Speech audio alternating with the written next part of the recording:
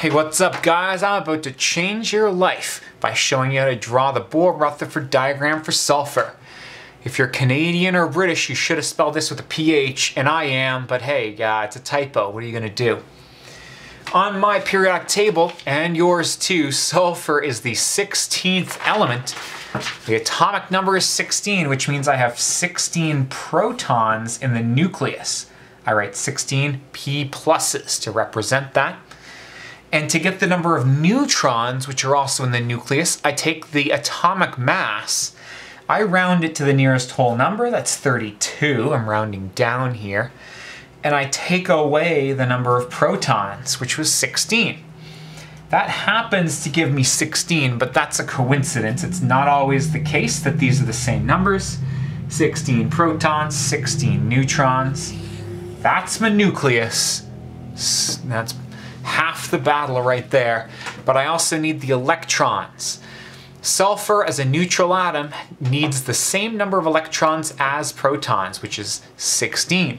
You can fit two in the first shell, so draw your first shell with me, and then put two electrons there. One pair, one, two. Now the second shell can hold up to eight.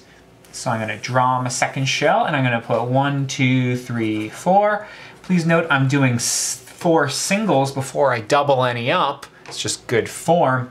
Five, six, seven, eight. That's 10 electrons total, and I filled my first two shells. But I need 16. I need six more. I can fit up to eight in my third shell. As long as your atomic number is 20 or less, the rule is eight electron, up to eight electrons in that third shell. Past element number 20, that rule goes out the window, but hey, if we're dealing with less than that, we don't care.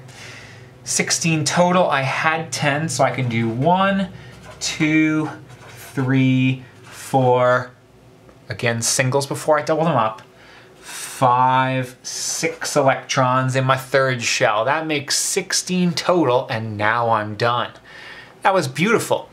16 protons, 32 minus 16 equals 16 neutrons, and 16 electrons, 2 comma 8 comma 6 in the, in the first, second, and third shells.